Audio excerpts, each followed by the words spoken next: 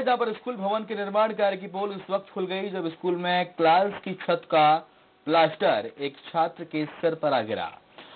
हादसे में दसवीं का छात्र नवीन कुमार गंभीर रूप से घायल हो गया।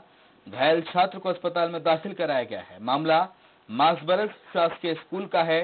यहाँ साल 2016 में बनाए गए दो मंजिला स्कूल भवन निर्माण किया गया था, जो महज तीन साल में ही जर्जर हो गया है।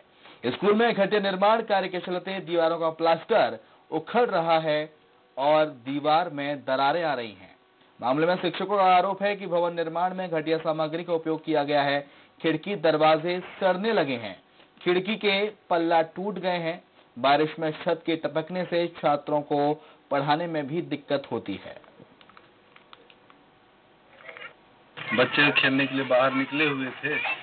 और खिड़की का पल्ला जो है ऊपर से नीचे छज्जा में गिरा छज्जा से छिटक कर लड़के के ऊपर गिरा और लड़का जो है बेहोश हो गया था। जी। खिड़की का जो पल्ला है जो लोहे का बना हुआ है वो नीचे नवीन नाम का रहता है वो खेल रहा था उसके ऊपर गिर गया जिसके कारण यह घटना हुआ।